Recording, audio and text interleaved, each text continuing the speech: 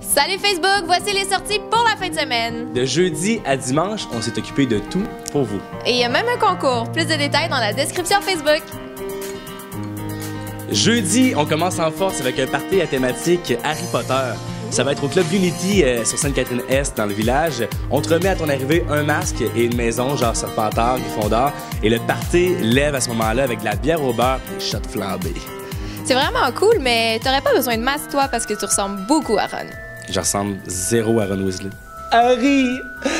J'ai peur des araignées! Vendredi soir maintenant, on se dirige au fameux Igloo Fest. Il y a eu deux supplémentaires à cause du 375e de Montréal. Et là, il y a un artiste que j'aime beaucoup. Il a 23 ans, il est australien et il s'appelle Thomas Jack. Mais là, il fait un peu froid, là. on n'est pas tanné un peu de l'hiver, là. Mais non, en plus, c'est le précurseur du Tropical House. tropical! Tan, tan, tan, tan. Vendredi, Camille, l'Hostie de Tour, c'est une tournée avec Corias, Brown et À la Claire ensemble, le meilleur du rap keb présentement. Ça se passe au Club Soda, ça commence à 21h, il y a des billets à la porte. Également, vous pouvez les acheter en pré-vente.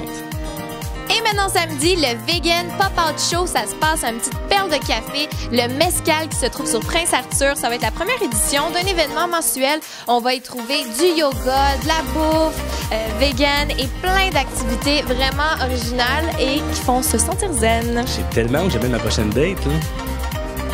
Dimanche, on finit ça en beauté avec le festival Caribou. Ça dure toute la fin de semaine, mais c'est la finale dimanche. Ouais, ça se trouve à Longueuil, à la place Charles de Moine.